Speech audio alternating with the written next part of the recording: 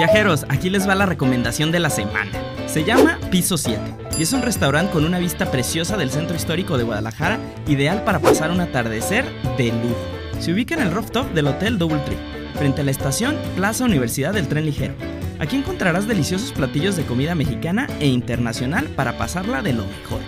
La vista de su terraza es espectacular. Desde aquí podrás ver la bella catedral y plaza de armas de Guadalajara como no las has visto antes. Todos los días podrás deleitarte con desayuno buffet, comidas y cenas a la carta. Nosotros pedimos chamorro adobado y camarones, pero el menú es muy completo, desde tradicionales chiles de nogada hasta cortes. Para que le tanteen, el plato fuerte ronda los 350 pesos. Para beber hay de todo, bebidas tradicionales como tequila, mezcal, cerveza, entre otros, y bebidas calientes para quitarse el frío. Si quieres saber más sobre alternativas de comida y entretenimiento en Guadalajara, te recomiendo visites mi canal de YouTube y revises los demás videos de la ciudad que tengo para ti. Link en mi perfil.